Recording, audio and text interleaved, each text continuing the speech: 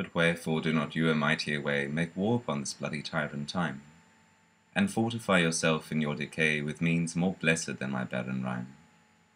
Now stand you on the top of happy hours, and many maiden gardens yet unset. With virtuous wish would bear you living flowers, much liker than your painted counterfeit. So should the lines of life that life repair, which this time's pencil or my pupil pen, neither in inward worth nor outward fair, can make you live yourself in eyes of men. To give yourself away keeps yourself still, and you must live, drawn by your own sweet skill.